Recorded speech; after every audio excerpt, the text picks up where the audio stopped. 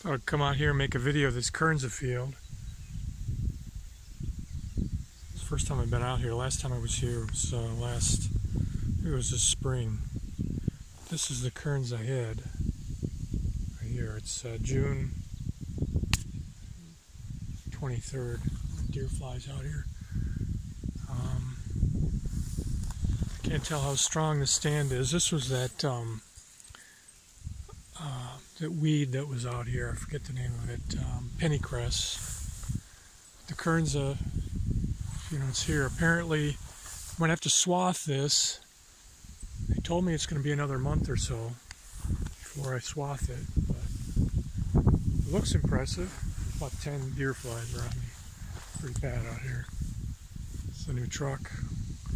Um, but it looks good. I guess I got to get the combine ready and check it out, take it up to Deere and have them look at some error codes and get the swather ready and figure out my grain drying situation with that Kernza. I got to get some, uh, it's nice to see. A little bit of wind out here today. I don't know if it's going to affect the sound quality in the video, but it's cool to see the wind, how it plays with the might drive down and show a little bit more, get a better vantage point of this. That's uh,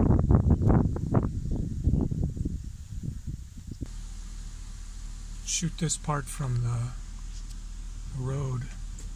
I don't want to get out, but there's the other corner of this field, this 24 acres.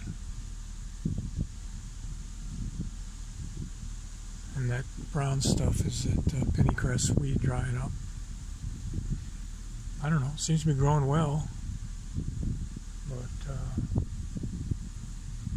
we'll see. Deer flies inside the truck. You probably wouldn't want to be outside long.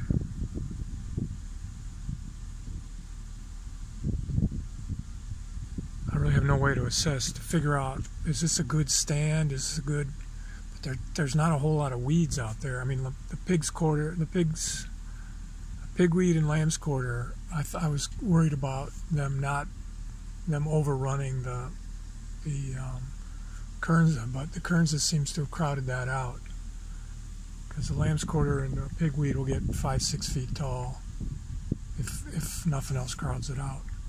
So from that standpoint, it's looking good. It's been a dry spring. We really haven't had rain for a month.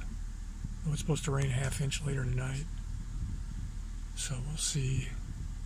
Apparently once the head starts to droop, that's when you want to come out and swath it.